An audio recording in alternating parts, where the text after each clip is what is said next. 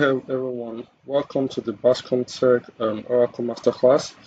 Um, today we'll be talking about a very unique topic, how to install Oracle 11g on Windows 11. Um, this is very very important because it's the basis of database management, data analysis. Um, if you want to learn about SQL, whether you want to be a data analyst, data scientist, data engineer, database administrator, you need to know SQL uh, my name is um, um. Welcome to our um, Oracle SQL Masterclass again. So the first thing that you need, um, you need the software. So this is the Oracle 11 software. It's very good because it, uh, it doesn't drag your system and you can use it to achieve your aim at a faster rate. Apart from Oracle, you can use Microsoft SQL Server, MySQL, Sybase. There are different um, software you can use to learn SQL. Uh, another basic fact also is that um, you can installation can be done on Linux, installation can be done on Windows. But yeah, we are doing it on what Windows 11 on this platform. So uh, the first thing you do, this is the software. Um, you have to know the average size is between 1.3 to 2 gig. So the first thing you have to know what's the size. This is 1.8 so which is okay you double click on the software. Next thing you do now was click on the setup just like every other software click on the setup. Um, so you click on yes. Yes and so the Oracle Investor Installer checks whether your system meets the configuration whether your system meets the um, installation requirements. So uh, the presentation requirements is tends to be like 4 GB RAM you have enough drive space for like like 200 gig or above. You have create a virtual uh, swap space. Um, so in case if your system gets full, the virtual swap space of like 10 gigabytes. So the so this is the first interface you have. So put your user ID. Uh, I'm going to put a bash. That's my name. Then you have to put your password also. So you can put in your password always allow your password to be very what um, um, long in terms of capital letter, small letter, um, special character because when you're working to, in a production environment, data has to be very, very well secure. So your aim as a database administrator, data analyst is not just to create database, but to ensure that your data is what secure. So you put what your password. So I put in my password. Next thing you have to do now, click on next. So you hold on for some minutes.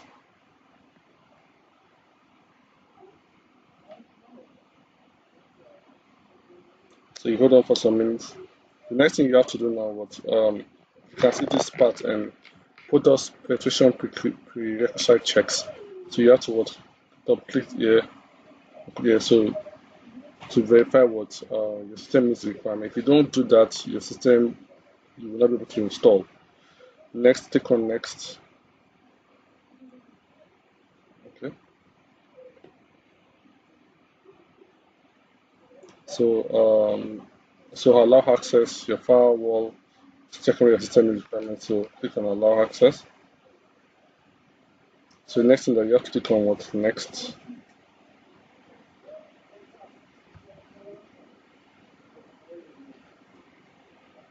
Now, so now next you have to now install the Oracle product. So this will take some minutes.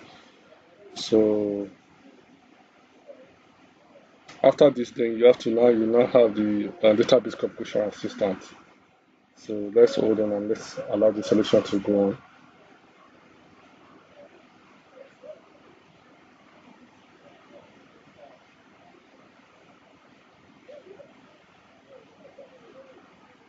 Okay, installation is going on. So that's what.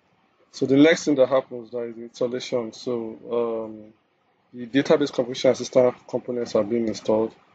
So let's just wait for some minutes.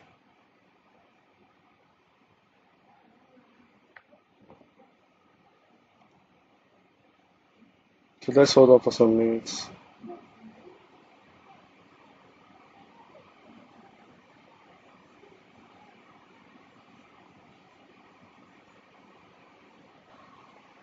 So the program is the components, our components are being installed, so we have to hold on for some minutes.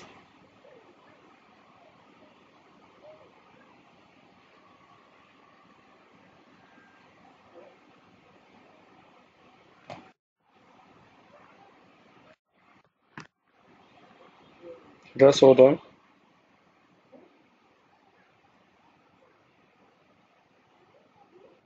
So the next thing we are going to do now, um, after the DBC um, installs, this page comes up. Yeah, there are some things you have, you have to know username. You have to you see the URL for the enterprise manager, which, which is this.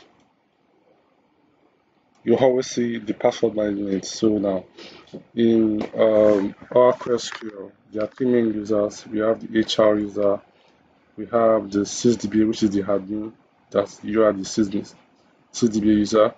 We also have the Scott user. And the HR user and Scott user, they are sample schemas in the sense that well, they are default users and you have default tables. As time goes on, I'm going to explain them. So the first thing you have to unlock, this is the way I met it. You can say you have to unlock the HR user. You have to set the password for it also. So we're going to put, our password. Normally it's for the sample schema. So you're going to put the, the password HR, HR.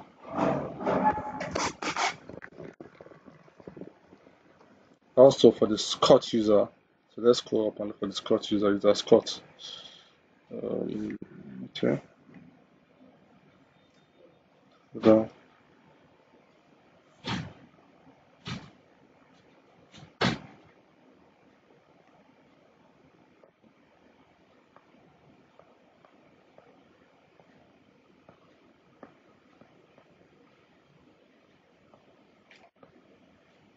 Okay, be just Scott there.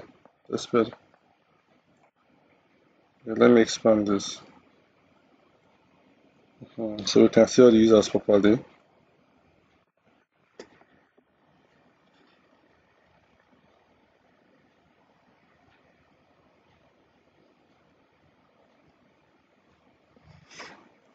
Yeah, this is the user Scott, okay?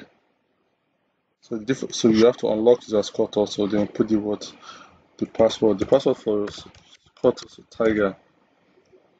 So okay.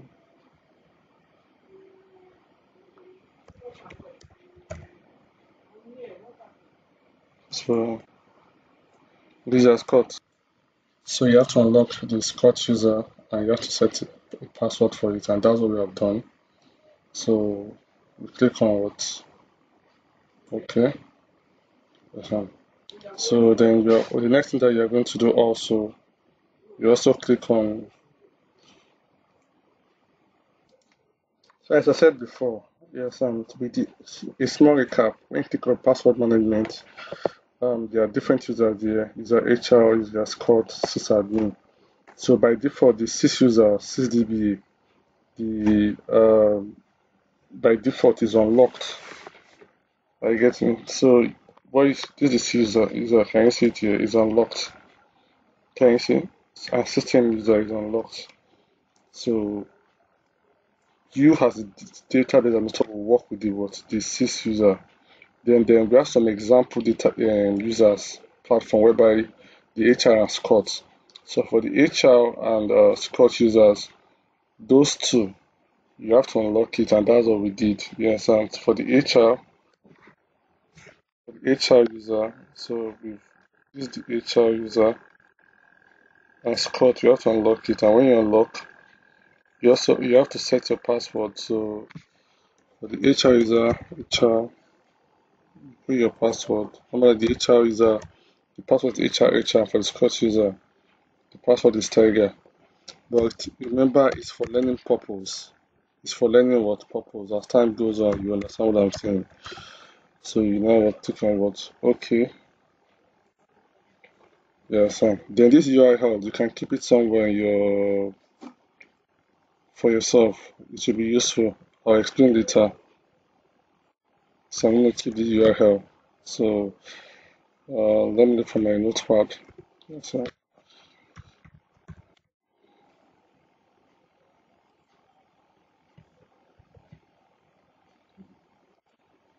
so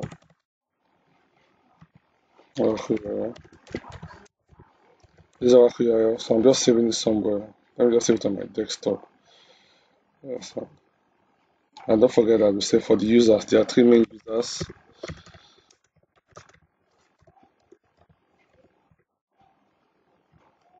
One we have uh, H um, sys user, which is about two.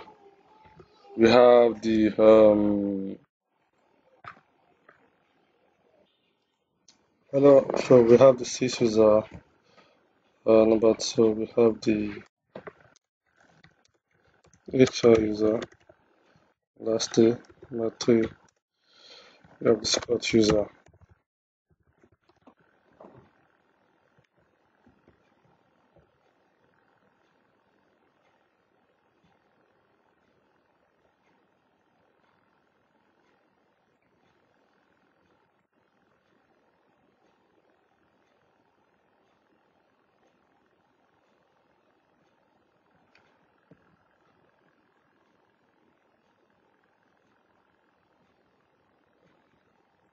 Okay.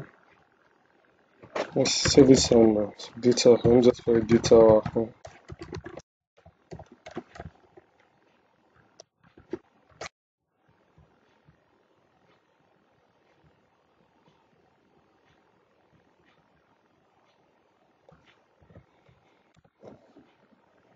So let's go back to our installation. So click on OK. I think OK. I think we are through. So you can see installation is successful. Click on this. So the next thing we can do now after we've installed yes, and there's also post installation requirement. What are the things that you can check to know that your uh, um, is working very well? So when you come here, you can type SQL. Okay, this is SQL developer, but SQL, okay, this SQL plus, so this is all we're making use of. So you can enter username, can there you can log in as HR Scott or SysDB user. So let's log in as HR user first. Password HR. I see that you are connected, you understand. You want to log in as Scott, let's exit. So let's um command prompt cmd. So you can log into uh, just type SQL plus. Let me make it easy. SQL plus. Okay, so you can log in as Scott user. Please always remember your password. Your name Scott.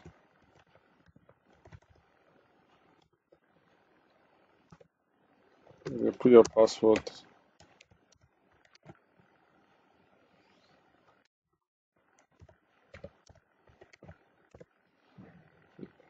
So it's an invalid password. So just try again. Scott.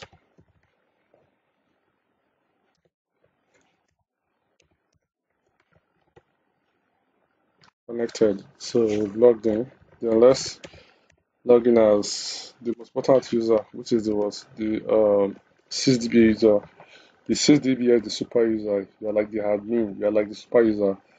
You have a lot of privileges and a lot of administrative functions are carried out under the what the SysDB platform. So let's log in. Uh, um, so what we're doing, we're just checking whether what we did is okay.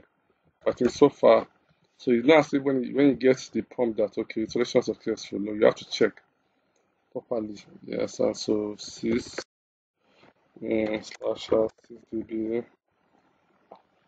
Sometimes you may not put the slash, but let's see where go. Put the password. So it's saying connected. So it shows that what you are logging. You are logged in. Now you can also move from one user account to another. So this is how you do it. Um, can say, okay, can say con. You can connect. You can say let's want to connect as um, each user.